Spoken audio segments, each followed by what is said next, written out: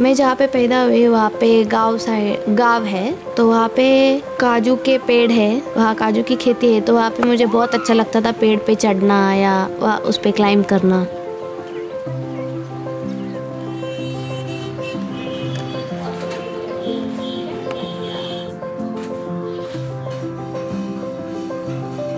और मैं जब मुंबई में शिफ्ट हुई तभी एक दिन मेरे स्पोर्ट्स टीचर मेरे क्लास में आए और उन्होंने कहा कि किसी को पेड़ पे चढ़ने की हॉबी है।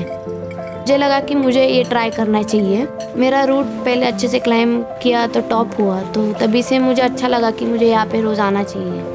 तो नवंबर में 2018 में मेरा एक रिकॉर्ड हुआ है। क्लाइंबिंग में सबसे हाईएस्ट ग्रेड मतलब 8A उसे कहते हैं। उस पर मैं पहली इंडिया की लड़की हूँ कि जिसने वो रूट कंप्लीट किया है। मेरे फ्यूचर प्लान्स के लिए मैं अभी ऐसा सोच रही हूँ कि मैं ज़्यादा से ज़्यादा आउटडोर प्रोजेक्ट्स पे भी ध्यान दूँ। और 2020 ओलंपिक के लिए मुझे क्वालिफाई होना है तो उसके लिए मैं प्रैक्टिस कर रही हूँ बहुत ज़्यादा।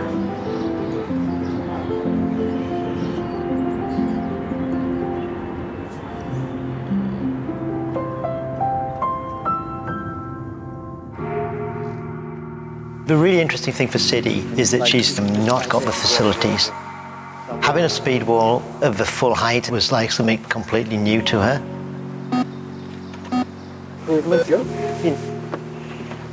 She was just not familiar with the moves. Come on. She was not familiar with the best sequences. Come on, all the way. Come on. Oh, no. She'd never used an auto belay before. You slow at the start, then that was good in the middle, and then that's just that last move to finish off. Have you actually done a speed route? One thing she has got, is she's got a really good attitude. Speed is about just being really, really dynamic all the way. You have to be able to climb a little quicker. And you have to use your momentum to push you through the moves, and then you've got to be able to hit the buzzer at the top. Okay When you actually decide you want to really go, then you're okay. Yeah. You're quite strong. Yeah. And you're really enthusiastic, so enthusiastic and keen. You Yeah. keep trying all day long. It's like you're really, really determined. So it's great to see, you know. It's really The profiling session with Ian is really amazing because he want to improve us on the technique. I'm a great believer in that it's hard work, not talent, that gets you on the top of the podium. Five minutes. If you believe you can win and you want it, you'll do it.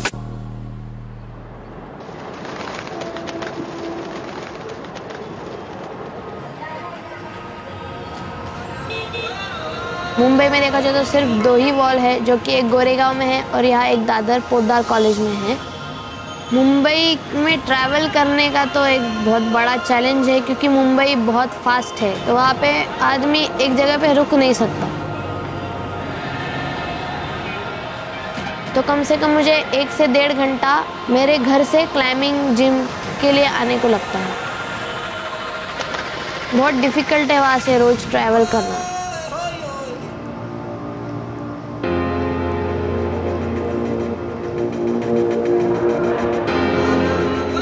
मैंने जब भी climbing शुरुआत की, उसके ठीक दो साल बाद ही मुझे एशियन यूथ चैंपियनशिप के लिए पार्टिसिपेट करने का मौका मिला। तो ये मेरे लिए बहुत अच्छा मौका था कि मुझे खुद को प्रूव करने का।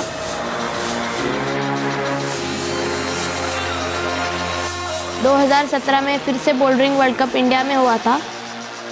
तो मैं पहली इंडिया की लड़की थी जिसका नाम वर्ल्ड रैंकिंग में इंक्लूड हुआ है। मेरा 28 पोजीशन था उस कंपटीशन में।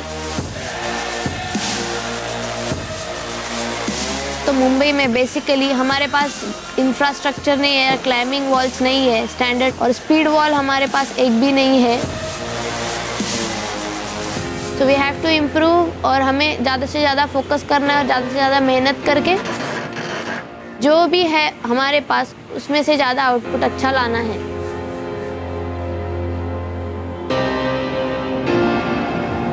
So the really key thing about speed climbing is getting the actual starting holes right and practicing it until you've got something that you're really, really familiar with. You bring that left foot up onto that, you explode into this, and then straight up to that. By standing back onto here, you're definitely losing time. Even if it's only a fraction of a second, from a speed climbing perspective, that's huge. Ready? Okay, go. Nice. That's ace. Excellent. Good job. I'll keep in mind. Yeah. For Sidi, her learning curve was like Pull. climbing Mount Everest. Moves. She'd come to a country where there's climbing walls that were totally unfamiliar. Come on, City, come on. Three, two, one, go. One of her biggest problems was she failed to put the time down Come on, hit the buzzer, come on. because she couldn't do the last move, which was dynamic to the belay. Come on. Go, City. Yay! The yesterday night, I create that move.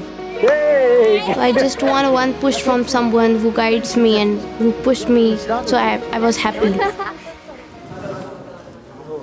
I always find it really inspiring when people from a background where they haven't got a recognised pathway into a sport do excel.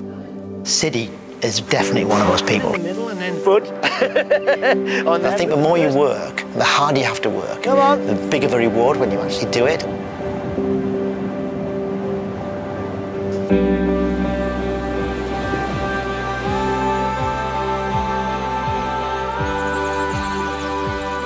Climbing हे एकच नाही आहे climbing हे तुम्हाला बाकीच्या आयुष्यात पण जगणं शिकवतं. कारण प्रत्येक वेळा तुमच्या जीवनात असं नाही आहे की